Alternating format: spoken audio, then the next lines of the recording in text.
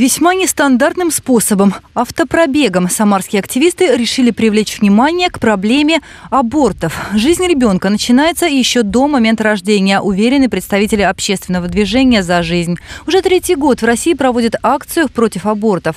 Молодые супруги Чугуровы пока воспитывают только одного сына, но мечтают о большой семье, уверены, и пять ребятишек воспитают. На форум пришли поддержать инициативу разговариваешь с этими девушками, они ну, глухие, как будто не понимают, о чем идет речь, что это их дети будущие. У нас просто в обществе сейчас немножечко сдвинуты ориентиры. Речь не идет о том, что семьи нуждаются в самым необходимым. Очень часто женщина идет на аборт просто из-за того, что она не хочет, хочет лишать, не хочет лишаться комфорта. Тем же, кто действительно испытывает материальные трудности, готовы помочь. Скоро в Самаре в храме Казанской иконы Божьей Матери на улице Коммунистической откроется фонд помощи женщинам. Участниками форума стали врачи, психологи, представители духовенства.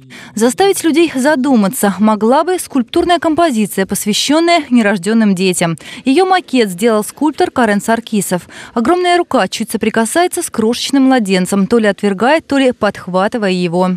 Здесь была очень сложная задача перед скульптором. Тема очень деликатная, и нужно было сделать что-то, чтобы хорошо вписывалось, но не было отталкивающим. Вы видите, какая хрупкость жизни э, в этой скульптуре.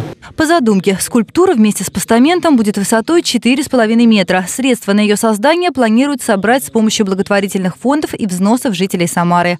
Марина Кравцова, Григорий Плешаков. События.